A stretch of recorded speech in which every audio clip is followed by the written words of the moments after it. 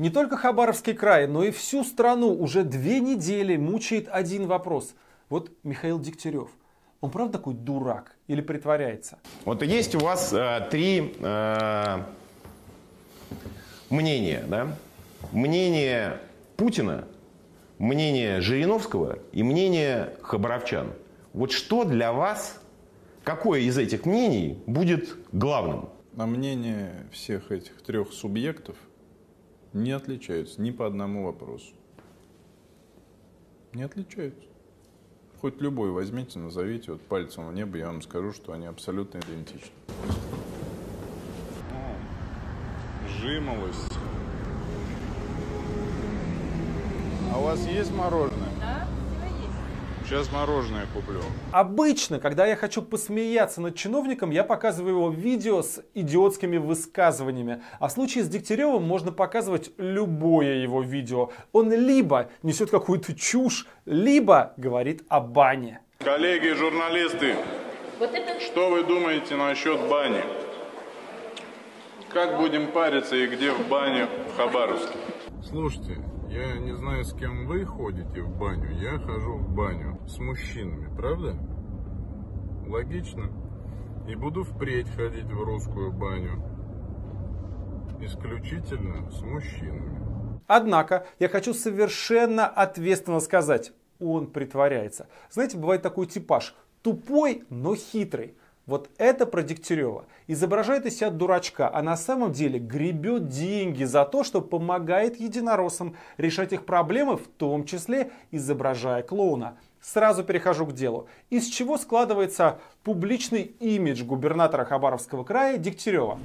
Прислуга Жириновского, в еще большей степени прислуга Кремля, говорит всякие смешные глупости, и у него ничего особенно нет. Не богатый. В декларации только депутатская зарплата и копеечный доход жены. Сложим все его доходы за времена депутатства и не увидим ничего выдающегося. Родители у него тоже простые, Оба до последнего времени работали врачами в Самаре. Реально работали. Мы проверили. В общем, Мишка Простой парень, самарский, близок к народу, понимает проблемы простых людей. А теперь смотрим настоящего Михаила Дегтярева. Он вместе с Жириновским занимается тем, что за деньги работает подобием оппозиции. 2013 год. Выборы мэра Москвы. Дегтярев участвует, несет свою смешную чушь. Русская душа требует еженедельного общения, еженедельного парку. Собянина и Путина не критикует, а наоборот хвалит. Если кого-то критикует, то только меня в основном. И получает в итоге свои 2,5%. А ровно через месяц у нашего небогатого Дегтярева в карманах появляется звонкая монета. Его папа, простой гинеколог из Самары, 9 октября 2013 года купил участок 16 соток в двух километрах от МКАДа и начинает активно строиться. По документам дом небольшой, 266 метров. Врач из Самары, увы, себе даже и такое не может позволить. Но когда мы поехали посмотреть, что же там они построили, то убедились, что вот постройка выглядит дороговато не только для врача, но даже и для депутата. Мы подлетаем к дому, записанному на отца Дегтярева. Видим вполне приятный ухоженный участок, слева теплица, посередине главный дом. Возле забора батут. Для детей Дегтярева у него их четверо. Летим чуть дальше и видим небольшой искусственный пруд. Как приятно в него окунуться после баньки. Здание, где стоит надувной бассейн, это на самом деле часть главного дома. Летим еще дальше, видим спутниковые тарелки и четыре трубы. Нет сомнений, именно здесь происходит политическое волшебство ЛДПР. Это баня. С другой стороны здания находится парковка, в нее очень удобно заезжать на семейном Мерседесе. Весь участок занимает площадь 1600 квадратных метров, но самое интересное тут другое. По документам размер этого огромного здания с парковкой, баней и бог знает чем еще всего 266 квадратных метров. Ну мы же видим, что реальная площадь ну, в районе тысячи. Бережливая семья губернатора предпочла поставить на учет это здание с занижением площади в 4 раза и теперь очень хорошо экономит на налогах.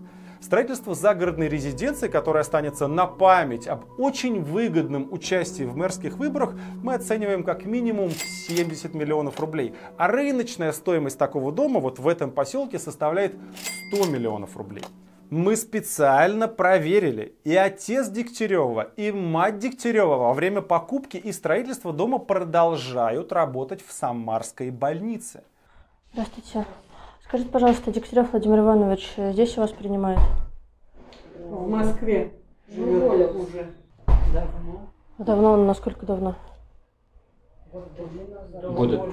Да. Тем не менее, у них откуда-то появляются свободные 70 миллионов рублей, чтобы построиться в ближайшем Подмосковье. В классической книжке было «Утром деньги, вечером стулья», а у Дегтярева участие в выборах, потом деньги. Изображал оппозицию, но хвалил власти. Молодец, сынок, пройди в кассу и получи свои 70 миллионов. Сергею Собянину ничего не жаль для своего друга. Нам присылают врачей, Минздрав и Собянин. Надо их брать. Присылают оборудование и средства. А потому что я его попросил, это мой друг.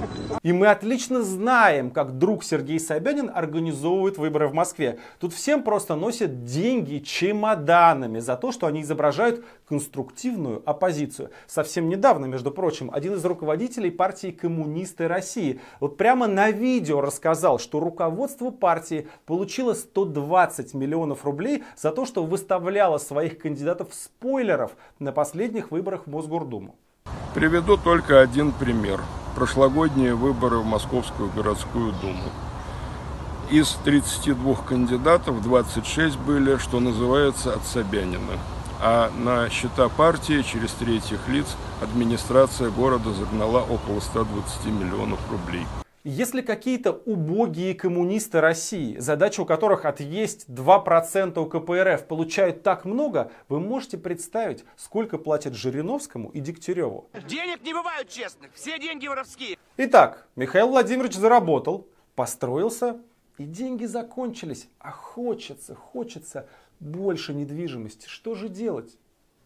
Так впереди же новые выборы. В 2018 году снова выбирают мэра Москвы, и наш Дегтярев снова изображает оппозицию и по-прежнему хвалит и Собянина, и Путина, и получает заблаговременную выплату – аванс – специальным распоряжением Департамента городского имущества Москвы ему по какой-то символической цене город продает квартиру. Отличную квартиру, почти 100 квадратов на Академической. Такая стоит 25 миллионов рублей. Квартиру эту скромный Дегтярев моментально оформляет на маму. Это делается в самом срочном порядке, чтобы получение и исчезновение недвижимости не отразилось в декларации. Так и произошло. И чиновник Дегтярев может теперь смотреть на всех самыми честными глазами и говорить, а чё, у меня ничего нет. Я живу в служебной квартире. Дом тысячи метров на папе. Новая квартира записана на маму. Ну а себе разве что купил новый Mercedes-Benz GLS 350 за 6 миллионов рублей. Поэтому, дорогие хабаровчане и все остальные, когда этот торговец политическим участием за деньги рассказывает вам про проплаченных участников митингов, иногородних и иностранцев, приехавших за деньги. Сюда слетелись в Хабаровск граждане, в том числе иностранных государств. Сейчас занимаются правоохранители и органы госбезопасности э, вот, всей сетью этих товарищей. У меня есть неопровержимые данные из правоохранительных органов, кто, как все это дело организует. Там очень много иногородних и есть несколько иностранных граждан. Вы его сразу, пожалуйста, просто затыкайте. Если и есть сейчас в Хабаровске иногородний жулик, который приехал за деньги, это новый губернатор Дегтярев. Вот сейчас арестовали на 8 суток водителя фургала мобиля.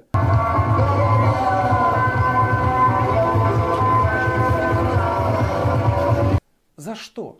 Что он сделал плохого? Он, в отличие от Дегтярева, взяток не получал. В проплаченных выборах не участвовал. В незаконном обогащении замечен не был. А Дегтярев замечен. Но он сидит в кабинете под портретом Путина и обычных нормальных людей. Обвиняет в том, что их митинги незаконные, несанкционированные, несогласованные. На несанкционированную массовую акцию. Последние опросы показывают, что большинство граждан России поддерживают хабаровские протесты. Это очень важно. Хабаровск, Комсомольск-на-Амуре и все остальные, знайте, что за вас вся страна. Не сдавайтесь. Путин и Единая Россия ждут, пока вы уйдете с улиц. Ваши требования совершенно законны. А то, что творит Кремль, это беспредел и унижение целого региона.